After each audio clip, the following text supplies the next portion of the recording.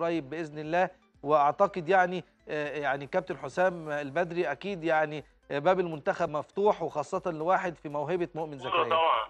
لا آه. بص يا مهيب بشكره يعني كابتن حسام بتواصل معاه على طول قبل ما يمسك وبعد ما مسك هو كابتن طارق مصطفى كابتن سيد معوض أيوب.